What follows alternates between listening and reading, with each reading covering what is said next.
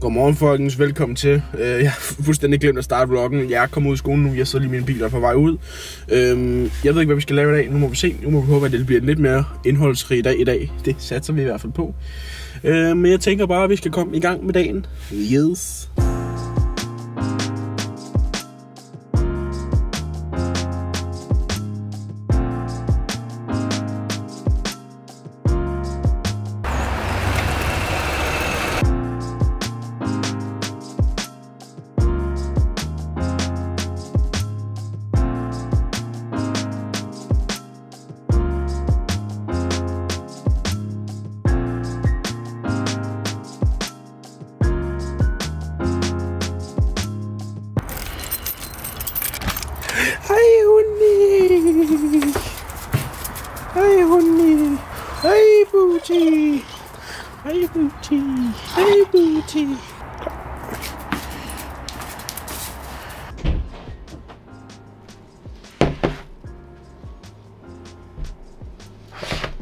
Ja, yeah, I ved jo allerede godt, hvad jeg skal nu, ikke?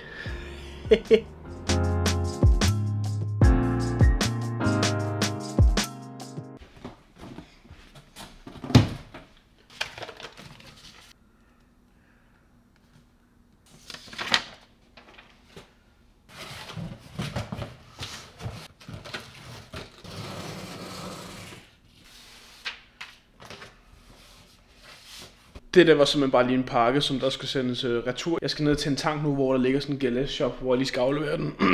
Så uh, det tænker jeg, at vi skal gøre nu.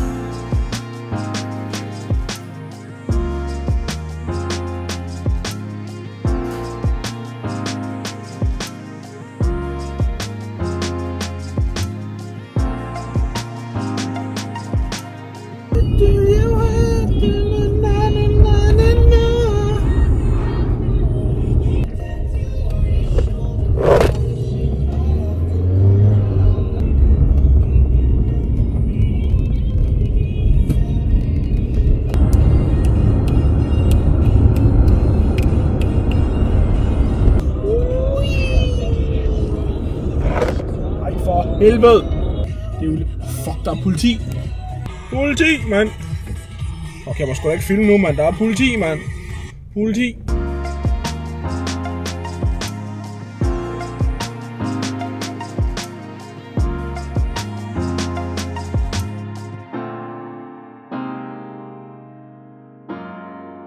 Ej, jeg skal bare sende den her retur.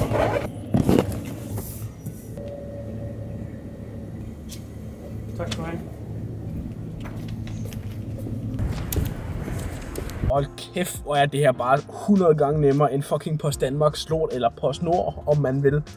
Altså, det er 3 minutter væk fra mig i bil. 2. Du skal ikke ind og finde parkering og parkeringskælder og stå og vente en halv time i kø, fordi der bare er så fucking mange. Det, det, det, det har taget mig 10 minutter fra jeg var derhjemme. Ingen gang. 7 minutter eller sådan noget fra jeg kørte, og så til jeg er færdig. Øh, så det er super, super lækkert, men øh, nu skal vi hjemme jo igen.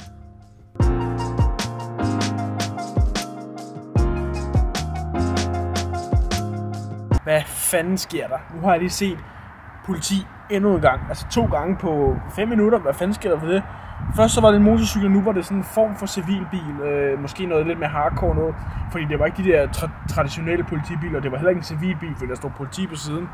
Hvad fanden sker der med Kongens Lønby? Er det nogle hoveder, der ikke skal være her? Eller hvad- er der ballade? Eller hvad fanden sker der, mand? Jeg siger aldrig politi her. Det er måske max, max to eller tre gange om måneden. Jeg siger, det, det, det er så sjældent. Øh, Og så de to på en dag. Jeg må simpelthen have været heldig, eller så er der bare sket et eller andet i Kongens Lyngby, som man ikke lige er herover. over. Men øh, nu skal jeg ind.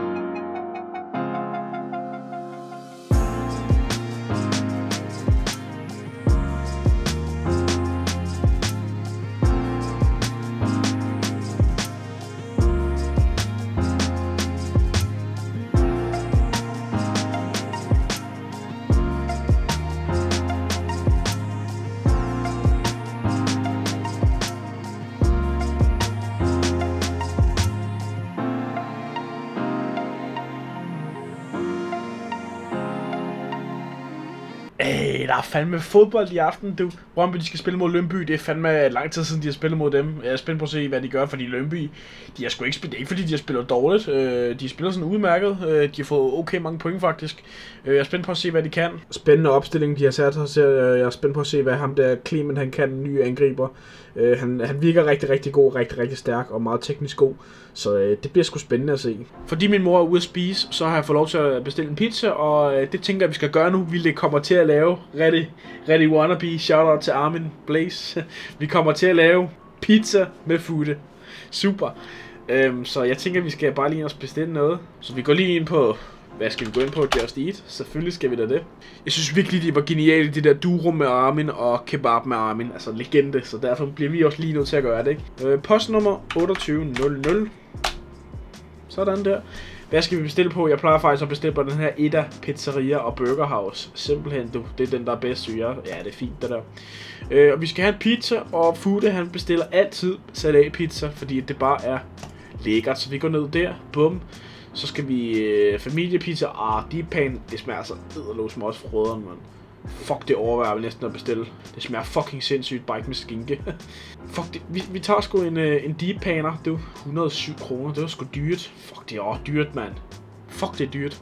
Men øh, vi må bare gå til kassen. Leveringstid hurtigst muligt. Yes, øh, det er kl. 8, så det passer meget fint. Øh, det her, det må I bare slet ikke se, fordi det er farligt, og det er mine kortoplysninger.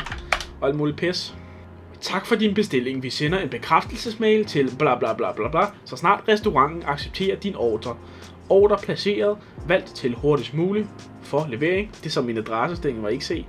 Åh, oh, lad os ringe til dem, mand. Jamen, så venter vi bare på, at, at maden den kommer, ikke også? Så er der sgu pizza, du. Skal vi lige lave en lille hurtig unboxing slash review af den? Åh, oh, den er dejligt tyk, og det sagde hun også i går. Er vi klar, folkens? Åh, oh, prøv lige at look at that kant. Åh, oh, den ser lækker ud. Mm, mm. Mm, mm. Der er bold her om cirka 10 minutter, 10 minutter i kvarter. Øhm, så nu øh, vil jeg bare lige sidde og vente, og så når der er bold, så skal der med med Frodes pizza, og så håbe, at Brøndby de vinder. Og så er kampen fucking udsat 10 minutter. Hvad sker der, mand? Jeg er altså pænt sulten. Jeg har ikke fået mad siden klokken sådan halv fire eller sådan noget, og klokken er sådan 8 nu. Så jeg er rimelig, rimelig sulten, så nu må den kamp snart begynde.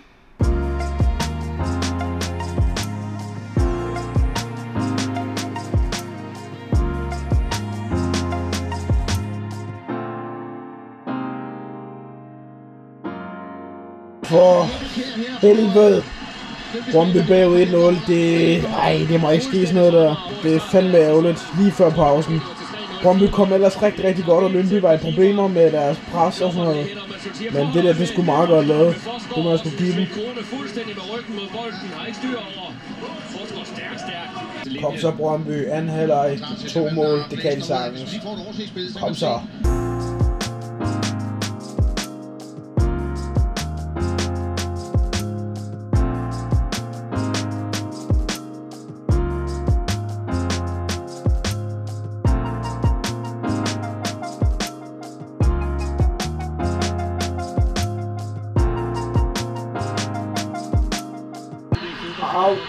Au, au, au, au, au, au, au, au.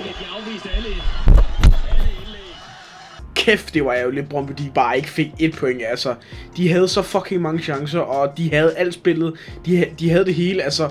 Lyngby de var så trukket langt tilbage, så de nærmest ikke kunne komme længere. Altså forsvarsspilleren fra Brøndby var gået med frem. Altså så meget presset var de, men de kunne simpelthen ikke få den ind, og det, det skal de arbejde med. De skal være skarpere. Øh, nu har de tabt to kampe, nu er begynder at komme ind i en, i en lille, lille bitte krise. Øh, det bliver først rigtig slemt, hvis de taber til OB, men de har vist tabt rimelig mange kampe, og dem, dem håber vi fandme, de kan slå. De skal altså være skarpere på deres chancer, fordi de kunne sagtens have i hvert fald scoret to mål. Det kunne de altså godt. Men øh, sådan er det. Vloggen i dag er skulle blevet lidt okay lang, men øh, Øh, ja, I må tage det som det er. Altså, nu optager bare, og så, så må vi få det bedste ud af det. Men i hvert fald, jeg vil runde vloggen af nu. Vi ses igen i morgen. I morgen så skal jeg nogle forskellige ting. Der kommer forhåbentlig lidt indhold ind, fordi jeg skal være sammen med nogen. Jeg gider ikke at sige, hvem det er. Måske kan I gætte det. I don't know. Og det er over morgen. Fuck, det er allerede over morgen, der er guldtuben. Shit, Shit mand. Drenge, mand. Nå, men vi ses, folkens. Hej hej.